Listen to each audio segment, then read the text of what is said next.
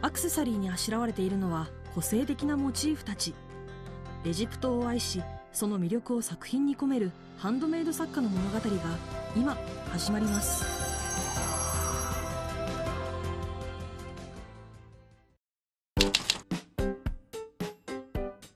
物心がついた時からエジプトがなぜだかわからないんですけどすごく好きでしてそのデザイン性でしたりあと文字とかにすごく興味がありました。エジプトをモチーフにしたアクセサリーや雑貨を制作している宮崎祐樹さん。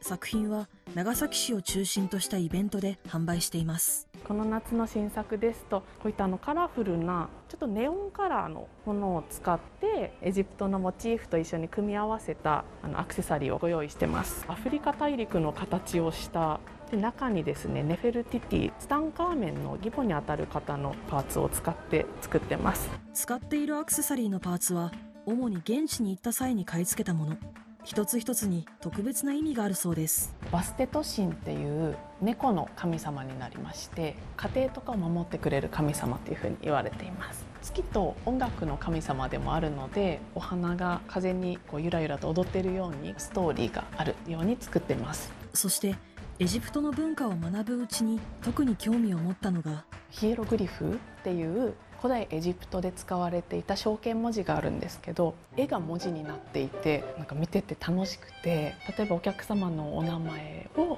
オリジナルでヒエログリフで表現して商品とかを作っていきたいなと思います。作家として活動する傍ら5歳の子供を育てるママとしての側面もエジプトのアニメとか見せてたのでエジプトの神様の名前をだいぶ言えるようになってます。猫の神様は？バステト。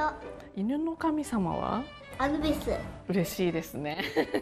視覚的に面白いモチーフがたくさんあるためキッズ向けアクセサリーやヒエログリフ教室など子供が楽しめる活動に力を入れていきたいそうですちらっとこう見た時にあなんだろう可愛いなってこう立ち止まっていただけるだけですごく嬉しいので興味を持つきっかけとっかかりになるようなものづくりができたらなというふうに考えてます。